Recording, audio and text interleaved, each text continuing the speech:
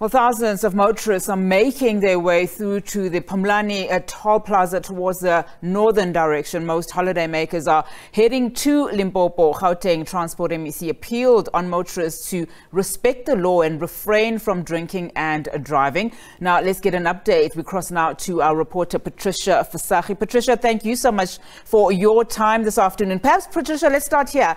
Tell us where exactly you are and what are you observing?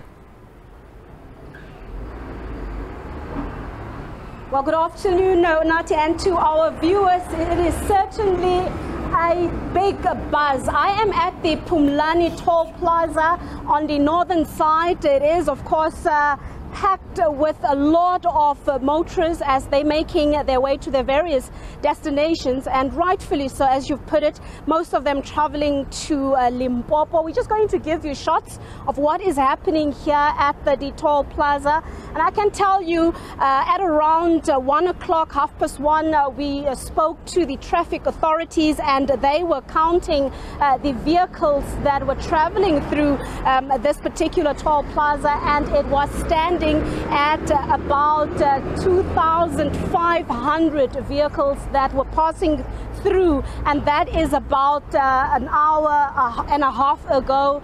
So uh, we're probably now sitting at about 3,000 vehicles that are passing through this uh, toll plaza per hour. So it is hectic.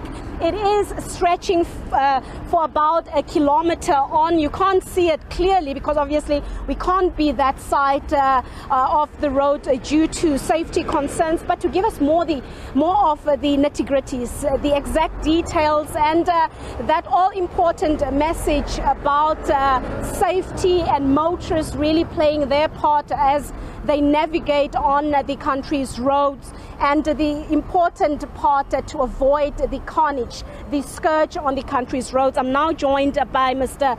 Sello Maremane. He is the spokesperson for the Gauteng police.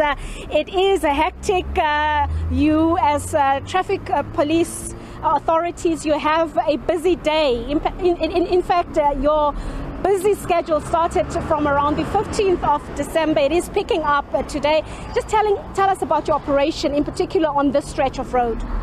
Thank you so much for the opportunity, Patricia. Well, it is that time of the year when we are expecting heavy traffic volumes, as you can see. Vehicles passing through this toll gate, two, over 2,000 vehicles are passing through this toll gate per hour, which is an indication to us as law enforcement agency that our roads are very, very busy, especially on this road. Now we have got a number of problems that we are encountering in as far as motorists are concerned. We see people, uh, you know, uh, running out of patience, driving on the yellow lane, which constitute reckless and negligent driving. Now, these are the type of behavior that we will not tolerate as law enforcement officials. Uh, unsafe overtaking. Just yesterday on the N14, before uh, the R55, we have lost lives unnecessarily so uh, somebody was, was uh, driving a vehicle with a heavily lo loaded trailer. We are saying to our people, every time when they are utilizing our public roads, we encourage them to use our roads responsibly. You can see, even if you are not a law enforcement official, that your vehicle is not properly loaded because an object may just fall off from a vehicle. So we are having these people who are overloading their trailers and we are appealing to our people really to say we encourage responsible road uh, usage because it is the responsibility of all categories of road users. It doesn't matter whether you are a pedestrian, whether you are a motorist, whether you are a driver. Safety starts with you, and that's why we are here. We are here in large numbers as law enforcement authorities. But let me tell you, I must accept that you do not have traffic officers in every corner. You don't need a traffic officer to force you to tell you that what you are doing is wrong. It's all about compliance. If we only follow the rules of the law and then we stick to that, we should be able to contain the situation. Let's talk about heavy vehicles. I see a lot of trucks passing. There's a bus behind you. There's more buses, more trucks. Often we see um, the dangerous accidents that take place, in particular where trucks are involved. Uh, throughout this year, we've seen the shocking headlines where trucks uh, were predominantly responsible for the fatalities. What is the action plan to combat that, to make sure that the check and balances are in place, and to ensure that the trucks keep to the right speed and they really just obey the rules of the road and drive responsibly? Well, we are utilizing our traffic control centers, the, the so-called TCC, where we are stopping these trucks to check the overloading of this vehicle and the general roadworthiness thereof. For example, we check things like your uh, brakes, we check things like your tires. Let me just say the roadworthiness of that truck. But one other factor that bothers us, the issue of fatigue. Many of these truck drivers are driving a long, a very long destination without them having to keep a rest. So we encourage them to say every, at least every two to three hours, they must make sure that at least they are stopping every two to three hours so that they can rest because amongst the things that bothers us is really fatigue that creeps in. You find that a person uh, is forcing to drive from Pretoria to for example, to Durban without this person resting. Obviously, when they get to rest, their concentration level on the road fades away. But we are in the ground as law enforcement officials to ensure that the truck drivers are compliant in terms of the necessary papers that they should have and the general roadworthiness thereof. And when it comes to the issue of drinking and driving, that is another headache for uh, traffic officials, uh, where rightfully so, we have seen the numbers, we have seen uh, the, uh, you know, dangerous accidents that are, are, linked to drinking and driving. Uh, what exactly will be done differently this year to perhaps make sure that those who break the law, those who still drink and drive, pay the price? Let me tell you that uh, we are arresting every person who drink under the influence of intoxicating liquor. It is just uh, illegal and it's, uh, it's not worth doing it. Uh, and I'm, I'm, I'm delighted to, to announce that at least in Parliament, negotiations are ongoing to take the legal limit away. I have not seen any person drinking at a Shebeen, for example, where they are having, you know, uh, a gadget to check whether they are over the legal limit. Let me tell you, our officers are right at Shebeens and taverns as we are speaking now, just to check, to tell the people that we will not tolerate any form of lawlessness in as far as driving. But does your officers respect the law? How many times do we not hear of those very same uh, officers who then take bribes instead of them upholding the law? They are not ours. Let me tell you, we will replace this brown uniform if need be with the orange uniform because we are law enforcement officials. We've got to protect the integrity. When people see us on the road, they should see a symbol of peace. They must see road safety in us. Now, the moment when we allow our officers to be involved with in other, you know, illicit activities such as corruption, uh, being on the side of the law, it's not our people. We uh, we will enforce the law unconditionally. So the message that really I want to ferry to our people out there is that lawlessness will not be tolerated. It doesn't matter whether you are an MEC, whether you are a law enforcement official, if you do anything wrong, you will face the full might of the law. Manpower, resources, vehicles, do you have enough of that? we are having enough. You can just patrol on this very same road. Uh, we have got over 50 officers just from this stretch up until uh, uh, Carousel Plaza, where the border of Gauteng, we are sharing the border with Limpopo. We've got more than uh, uh, enough officers as well as vehicles just to be visible on the road. Our message is very clear, Patricia. We know for a fact there are three factors influencing our road safety environment. The first sector, factor is the uh, human being himself, the person, then the vehicle as well as the road environment. But let me tell you, majority of road traffic crashes which are encountered are human-made. When we go and investigate, we find that the vehicle was overloaded. We find that the vehicle, uh, maybe the driver was so tired that he did not rest. So we've got quite a number of issues that if we can change our attitude especially from a driver perspective, to make sure that we ferry these people that we are having uh, safely so to their various destinations. We will all arrest the situation and we should all, all of us arrive safely so. Annually, we sit, we sit with these staggering, shocking road fatality statistics that reflect the carnage on our roads, and uh, that at the backdrop of those very same uh, uh, uh, uh, factors that you have just mentioned, the safety campaigns, the boots on the ground, the zero tolerance. But then we find ourselves with uh, the statistics, and every time we hear police officers, uh, traffic officials, the politicians saying that um, there will be zero tolerance. But are South Africans hitting the call? Where is it going wrong? Why do we still see the carnage on our roads? The police are doing what they need to do, and there's enough boots on the ground.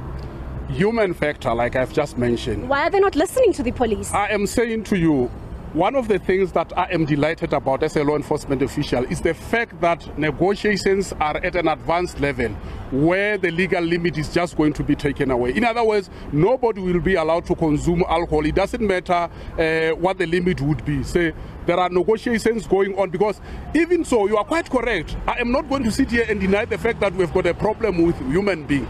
Just yesterday evening, we have arrested a person doing 238 kilometer per hour on the N14 driving a Golf 8. Now, we, we do have pockets of people who are still, you know, violating our road traffic rules, regardless of the campaigns that we have. What we are doing now, we are in cahoots with other departments, such as the like of the Department of Justice and so on, just to make sure that whenever a person has been found violating a traffic uh, rule, you know, the punishment thereof should go severe.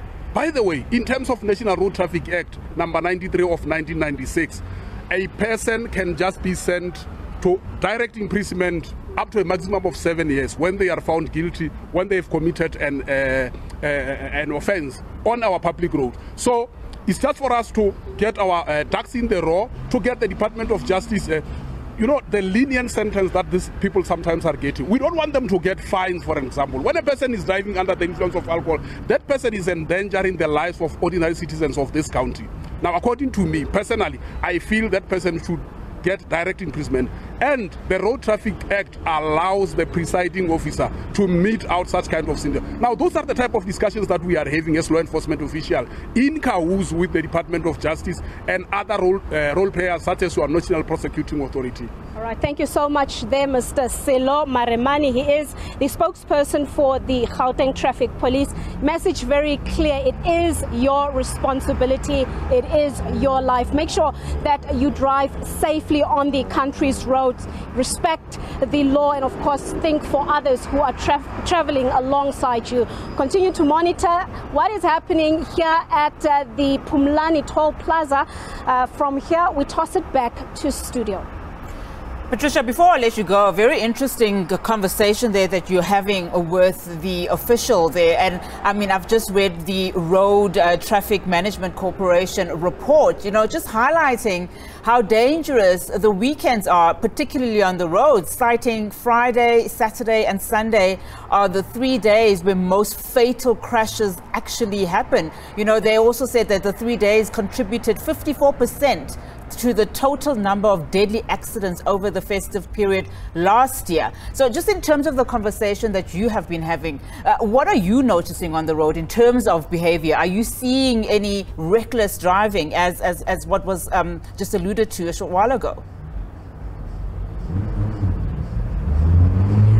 Well, Unati, from what we have been observing and what I am observing, it seems like everything is in order. But you would have to understand that uh, there is a lot of visibility on uh, the road, a lot of police visibility at the uh, moment. So, of course, that in itself inspires for road users to behave uh, responsibly. Mm. But the issue comes in when there's very low visibility or when there's no police or on stretches of road where there is literally uh, very few vehicles where people start speeding and the reckless driving, the reckless overtaking start taking place, but also that other irresponsibility which is drinking and driving, which normally takes place late at night when a lot of people are coming back from parties and so forth. Uh, so this time of the day, normally a lot of uh, law-abiding